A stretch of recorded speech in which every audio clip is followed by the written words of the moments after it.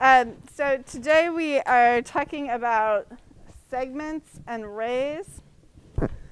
And um, if you think back to kind of when we were talking about lines, remember how with the lines we always said that there should be kind of the arrows at the end of the lines, um, even though it didn't always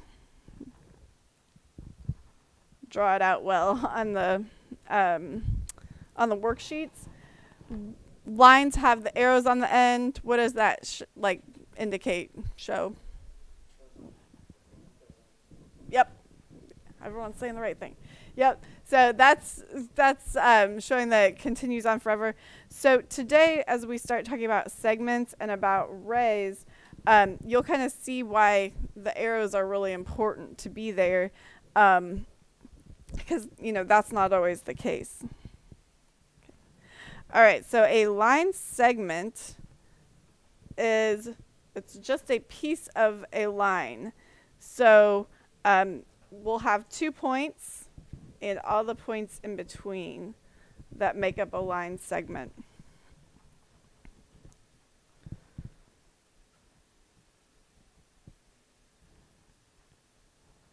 Two points on a line and all the points in between is a line segment.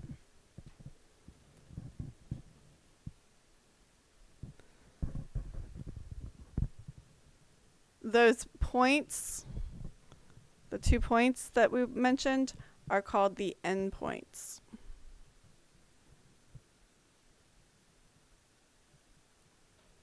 Okay. So when we name line segments, um, it's going to be kind of uh, like we did lines. Um, if you remember with lines though,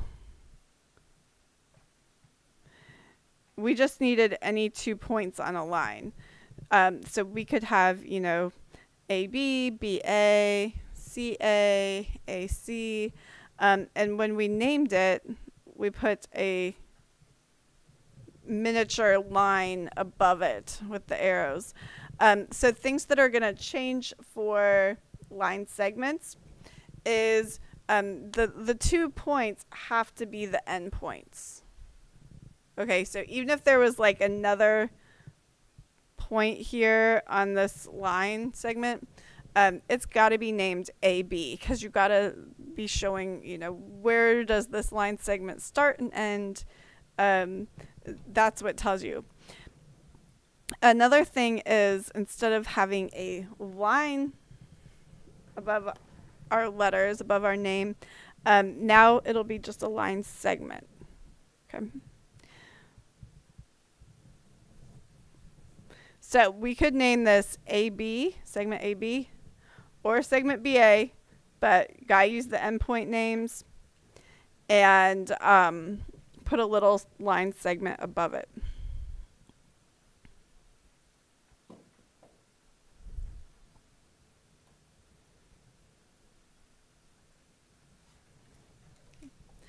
One of the good things about geometry is like, you know, most of our symbols are really just like miniature versions of what it is that, that we're naming. So, you know, the segment's a little segment above it, the line's a line above it. We'll get to the ray in a minute, but that's the same way too. Um, angles are going to be that way, triangles, circles. So, lots of things. The symbol is just a little miniature version of whatever uh, the object is we're talking about. Um, one of the good things about segments versus lines is if you remember lines, they went on forever. We can't really uh, talk about the length of these lines if they're going on forever. So line segments, um, we will be talking in the next couple days and a little bit more today about kind of their lengths. so that's going to be helpful. Um, ray I always imagine the ray being like if the line segment and the line had a baby, that would be a ray. Because the ray has one endpoint, like the segment, and one endpoint, like a line. So it's got one endpoint, and then it goes on forever in one direction. So the official definition is a point on a line and all points to one side. So normally the dotted stuff here, normally that wouldn't be here. Um, we're just trying to show that that would be on, it's a part of a line, just like the segment is.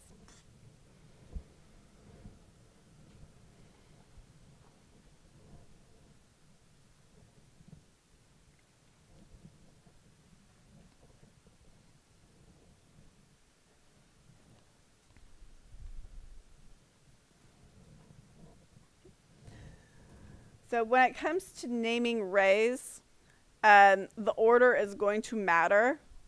So the letter that you list first has to be the endpoint. And then the second letter um, is the one that's off on the, you know, going on forever part of it. So if we were going to name this ray, we could call it A, B. So endpoint first, and then we put a little mini ray above it. So that's ray AB.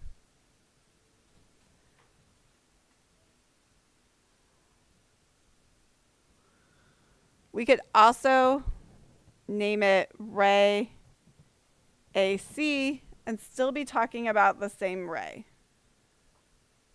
because it, it's still starting at A and then going off forever in that same direction. Um, some names that don't work. We cannot name it BA because that would be talking about a completely different ray. So BA would be talking about if I had a you know a ray that started there and went off this way. That would be BA, and that's, you know, that's not what we're trying to name right now. Um, same with like BC. Whoops, got a little crazy there. Um, BC would be like starting here and going off this way.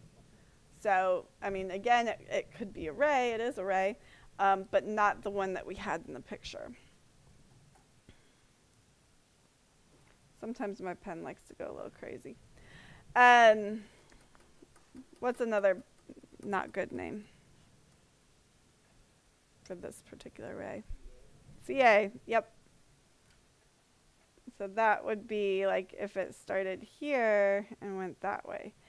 Um, so you can see, you know, we gotta have the endpoint first. That's when you're when you're doing the array. That's kind of your most important thing. All right. Segment's good. Ray's good. All right, those. All right. Uh, so let's talk about length a little bit. Um, so as I mentioned, segments are great because we can actually measure them. Um, they're not infinite like a line is. Um, so when we are talking about the the length of a segment, um, there's two ways that you can kind of write that. One is to just take the segment's hat off. So if you um, take away the little segment symbol above it, that now means you're talking about its length instead of talking about the segment itself. Um, so if you see something that says like AB equals 8, that means that that segment AB there um, has a length of 8 units. Um, you can also write it as M for measure of segment AB. Um, but I can tell you that if it's me writing it, um, I'm going to write it the first way. I'm going to write it like this. Um, but if you see the little M Sometimes it's used on angles and stuff too. M means measure. So, so in this case, the segment name is AB or BA with the hat. Segment length would be without without the hat.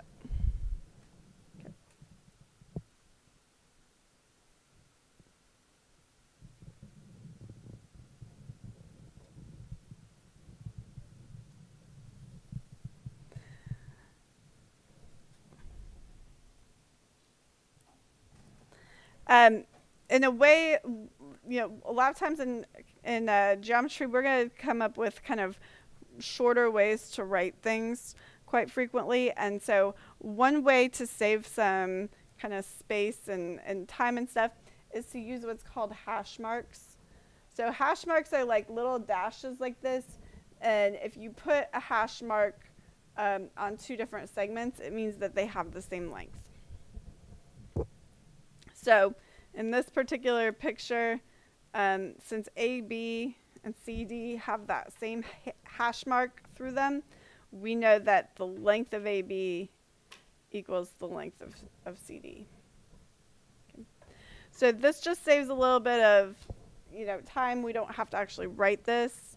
We can just use the hash marks. Um, and you know, if it's if it's one thing like this, that's not a real big deal. But um, on the next slide, we've got kind of a lot more going on in the picture. And so you can see where the hash marks save a lot of time so that you're not like having to list a bunch of different equal things out. So here's what the hash marks would look like if you've got kind of more than just one thing going on. So we can see like AB and A, what about G? They each have one little hash mark there, one dash. So we would know that they were equal. AC and AF, those have two little hash marks. So we would know those were equal. And then AD and AE have three hash marks, so we know that those are equal to one another. So just kind of having this picture with all the hash marks on it saves us from having to write like that whole thing out where we're explicitly saying all the equal segments.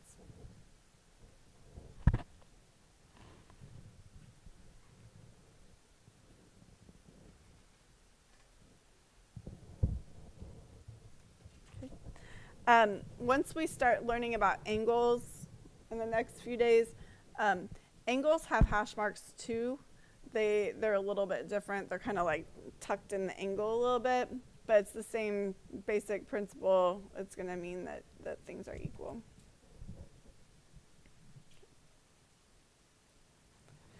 Um, just to harp on this again, you know, we can't assume things are the same size um, without being told. So, you know, if we see something like this, we can only tell one thing, or well, we can only tell two things are equal here. What what do we know is equal? Yep. Yep. So A AD and BC. So we know AD and BC are equal. Um, we don't know anything else.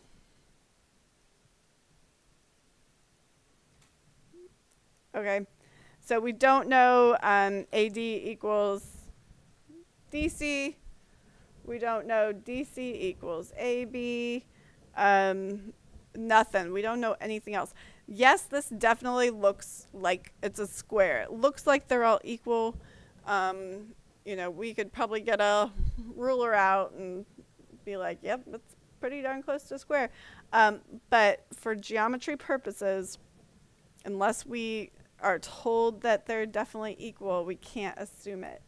Um, think of this as kind of a, you know, it's kind of a liberating thing there for you. We're not expecting um, you to make judgment calls like that. So if, you know, if we want you um, to, to know that DC equals AB, we, we are going to tell you.